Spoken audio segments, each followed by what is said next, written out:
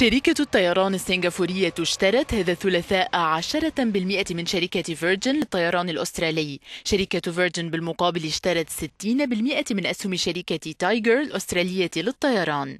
فيرجن أعلنت أنها ستستحوذ كذلك على شركة سكاي ويست للطيران في أستراليا وجنوب شرق آسيا.